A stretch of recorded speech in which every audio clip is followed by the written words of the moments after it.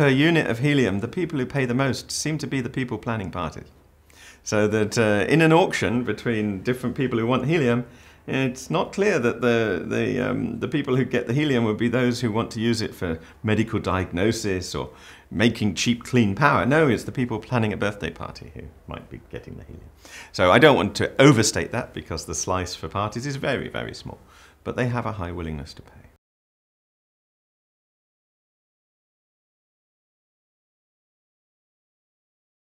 Helium really gets going in the, in the early 20th century, and, and, many people think in terms of the physicists using helium who liquefied it and uh, discovered things like superconductivity.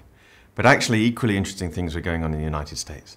People were looking for natural gas, and they were finding that it wasn't uh, uh, coming out of the ground in the ways they'd, they'd hoped. It, it, it appeared to be contaminated. And, and, and chemical engineers uh, in the US, uh, in Kansas, uh, looked at this gas, which had, was mysteriously contaminated, uh, and discovered the presence of helium. Uh, helium named after the sun, previously seen in spectroscopy of the sun. And here it was in, in natural gas coming out of the ground in the States. And, and that actually led US leadership in helium that persisted through the 20th century. Helium is, is a product and it, it, its uh, market is shaped by both demand and, and supply. On the demand side, uh, helium has a long history of being a high technology gas.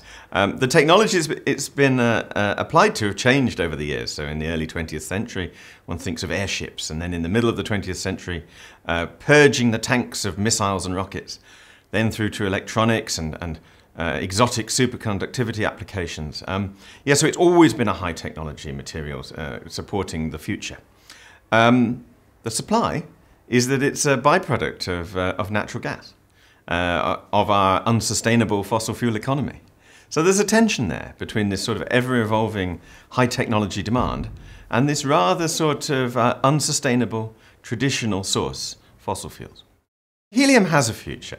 Um, every now and again, what, helium crises appear in the media and statements to the effect that the world is running out of helium. That's not the case. Uh, there's enormous amounts of helium uh, underground, uh, mixed with, with natural gas and geological reserves. Um, so these crises are, are not the fundamental issue. Um, there is, however, a long-term problem. Uh, and that is that the uh, natural gas industry has a finite future. And therefore, the helium supply chain has a finite future. Furthermore, um, there's this interesting aspect of the fact that helium is a byproduct. Because any helium that we uh, choose not to use today is not conserved underground for the future. It has been extracted with natural gas, taken and combusted in, in somebody's stove or industrial facility, and, and therefore has just been on its journey from the ground to the atmosphere. So um, yes, helium is on a journey from, the, from underground to the atmosphere. Uh, and uh, that raises uh, prospects of a problem in the long term, a real problem. Shale gas is, is um, characterized by the fact it comes from uh, highly impermeable rocks, so, so impermeable that the, the methane of the natural gas could not escape. And it seems that the much smaller helium atom is indeed able to get through the shale of, of, of shale rocks uh, associated with shale gas. That means that, it, to our impression, the, pre the presence of helium in, in shale gas is very limited. Okay? So the direct implication of the uh, transformative move towards shale gas uh, for helium is, is very limited because there's so little helium in shale gas. However, the secondary or indirect relationships could be profound. Uh, the shale gas transformation in the United States is uh, pushing the United States from a predicted future of importing liquefied natural gas from around the world to potentially exporting it. And uh, liquefied natural gas is a major trend in the whole global natural gas market, and anything that's a major trend in the natural gas market is going to be important for helium. Well, looking ahead, um, some of the new users in the frame would be in the energy area, uh, both in uh, conventional nuclear energy, fission, uh, where it gives the opportunity to use uh, uh, a higher temperature fluid to turn the turbines. It's more in, uh, efficient in engineering terms to get away from steam and get towards helium. That would be a major user if that, that happens in fission. Another one on the horizon is nuclear fusion bringing small atoms together to make energy, not big atoms of uranium or plutonium and splitting them. Um, so that, that form of nuclear energy needs big, big magnets cooled with uh, liquid helium. And so that, that would be a major user in the future if that takes off.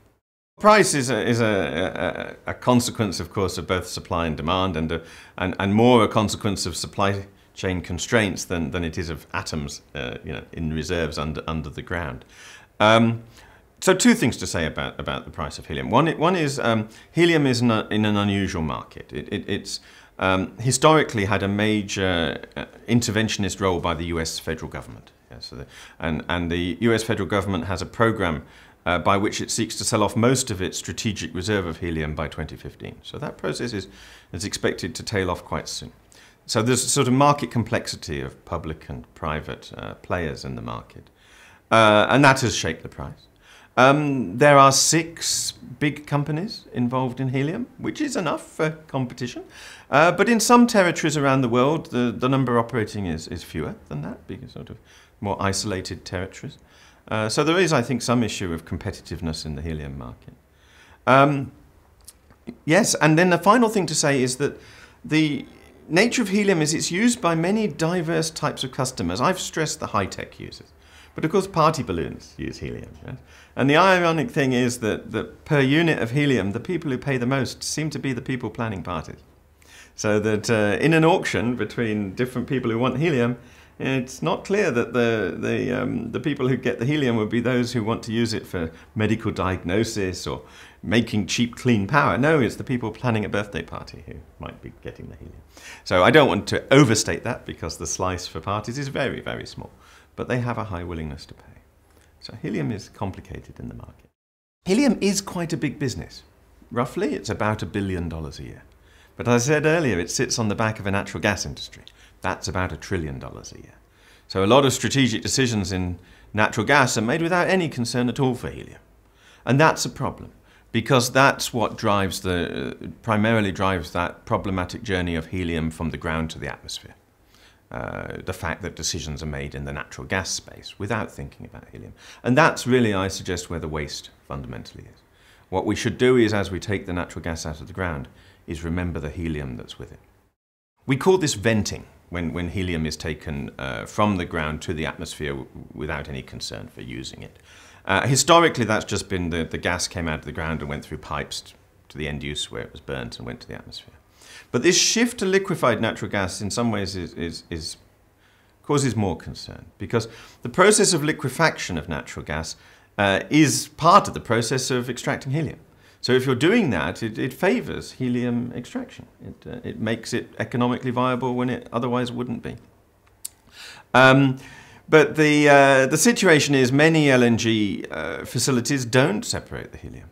So they have a so-called purge gas that's roughly half helium, and they just vent it to the atmosphere. That's a shame.